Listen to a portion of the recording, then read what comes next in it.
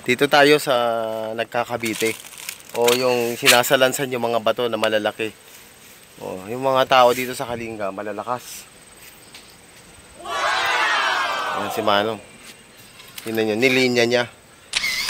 Ang purpose niya, bakit nilinya, pakikita ko sa inyo kung bakit. Ganito. Ayan. Kung bakit nililinya mula sa ilalim yung bato hanggang sa taas yan. Yan, makikita nyo. Yan, ganyan. Ganyan, yan. Yan. Yan. Lumayo tayo, lumayo tayo para makita nyo. Ayan, ayan. Ayun! Yan, retaining, ah, retaining wall. Yan, yan yung sinatawag nila Cavite. Ayan, riffraff. Yan. Yan, punta tayo sa kabila dito.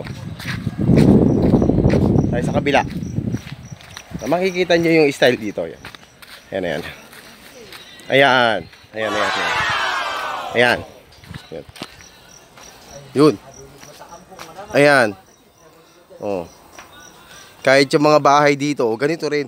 Yung ginagawang bahay dito, ganito rin. Yan, bato rin siya. Ayan. oh. Parang Tapos- mapahutok mo ah. Tapos sinamento.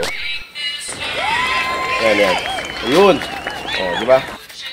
Ayan. Ayan siya.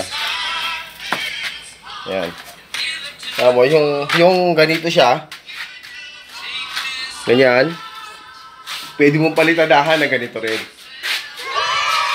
Ayan, para maganda. Ayan. Tulad yan. Yan. Oh. Pinalitadahan. Ayan.